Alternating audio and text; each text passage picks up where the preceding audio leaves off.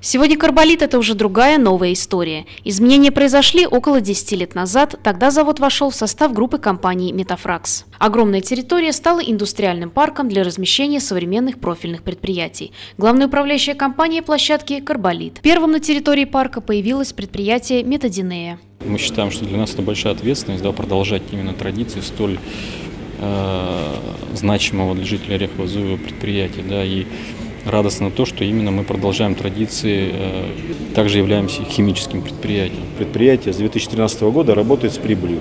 То есть э, сегодня у нас на дворе 16 год, как бы, и я прогнозирую уже, могу сказать наперед, что 16 год мы тоже отработаем с прибылью. Работа кипит везде. Одно сдается в эксплуатацию, другое возводится. Здесь будет установка по производству формалина-2. Сроки окончания строительства – второй квартал 2017 года. Уже готов производственный корпус, ведется монтаж эстакад. Формалин является для нас основным видом сырья. Производственная мощность 90 э, тысяч тонн концентрированного формалина в год, порядка 260 тонн в сутки.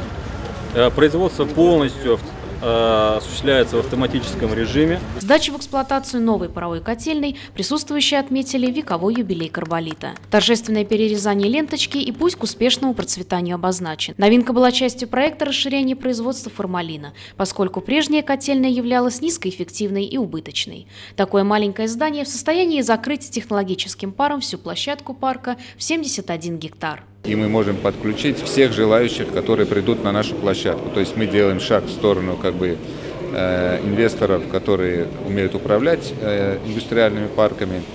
Э, следующая история, мы приняли решение, совет директоров, мы будем строить водогрейную котельную, тоже современную, для того, чтобы вот в этом направлении развивать нашу площадку. Сегодня агрегат полностью готов к приему нагрузки. Старая котельная будет передана на обслуживание Орехово-Зуеву.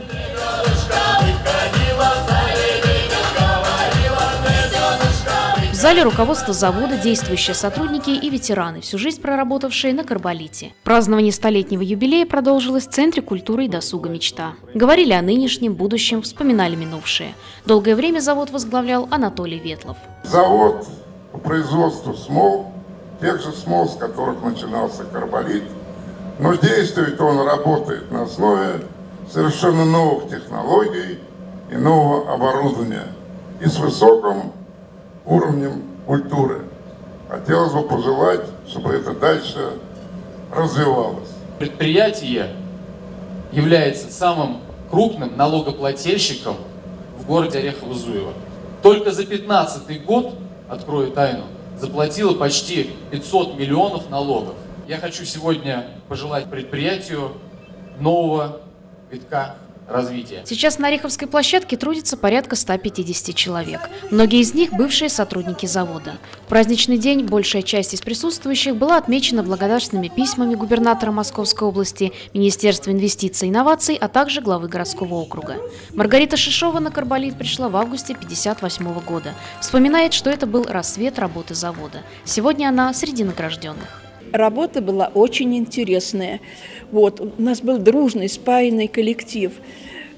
Ну, я просто хочу сказать, что это был завод был, это одна большая семья. В планах у предприятия развитие территории индустриального парка, который станет преемником традиций векового завода и площадкой размещения самых современных химических технологий.